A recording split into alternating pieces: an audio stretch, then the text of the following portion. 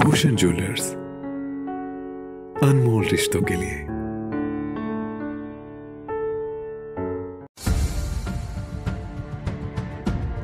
घुमारवी नगर परिषद के तहत मीट मार्केट से गुजरने वाले गंदे नाले में अभी 11 महीने पहले लगाए गए डंगा पहली ही बारिश से नीचे नाले में गिर गया है, जिससे लोगों के घरों को खतरा बढ़ गया है।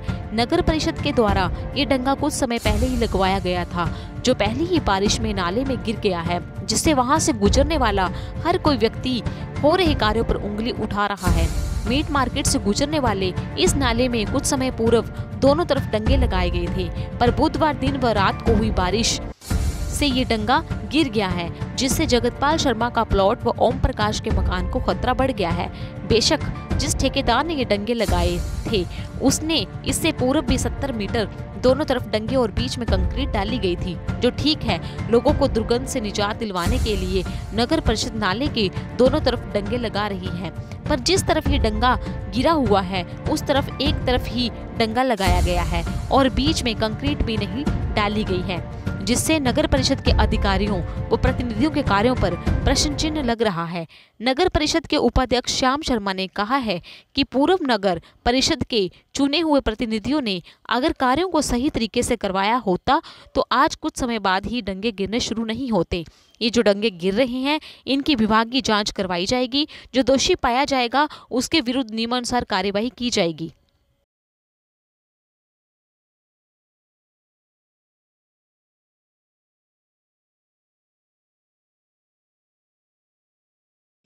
आज हम यहाँ मीट मार्केट में बजाओ वार्ड में आए थे और यहाँ पे जो कल और परसों दो दिन में बहुत भारी बरसात हुई, उसके बाद से कटेनी बाल गिर गई थी, जिसकी वजह से थोड़ा जो यहाँ दो तीन मकान है, उनके लिए खतरा पैदा हुआ है।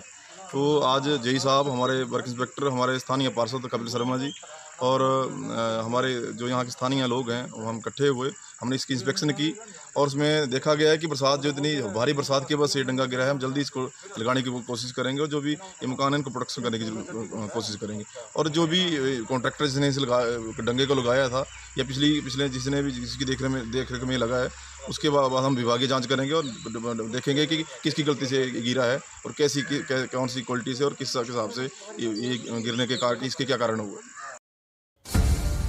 हिमाचल प्लस न्यूज़ के लिए बिलासपुर से विनोद चड्डा की रिपोर्ट।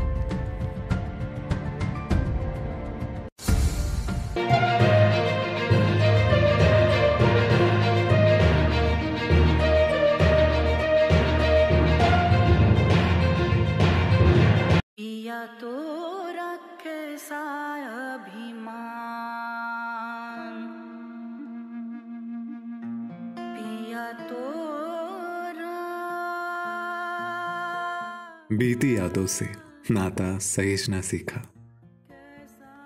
हाथ थाम कर जिनके चलना सीखा। गिरने लगती जब तो उनसे संभलना सीखा। तो उनकी डांट से खुद को तराशना सीखा।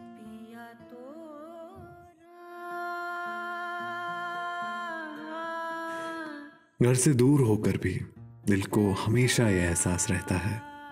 उनका प्यार और फ़िक्र हमेशा मेरे साथ रहता है।